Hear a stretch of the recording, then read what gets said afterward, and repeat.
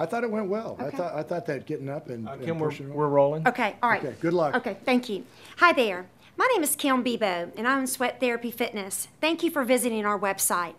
I just wanted to let you know a little bit personally about me. I have struggled with my weight all my life, losing 80 pounds more than a dozen different times. And it wasn't until I added exercise that I was able to keep it off. And that is why we created Sweat Therapy Fitness. I do not want you to be intimidated. I want you to come whatever level you are, whatever age, whatever weight, whatever gender, and I want you to come and try a class.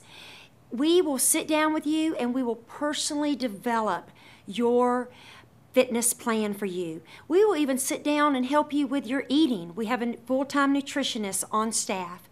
So at Sweat Therapy Fitness, we're located at the Manor at Midtown. Give us a call or Hey, hey, email the us. The class is ready. You're doing great, but the class is ready. We gotta go. Okay.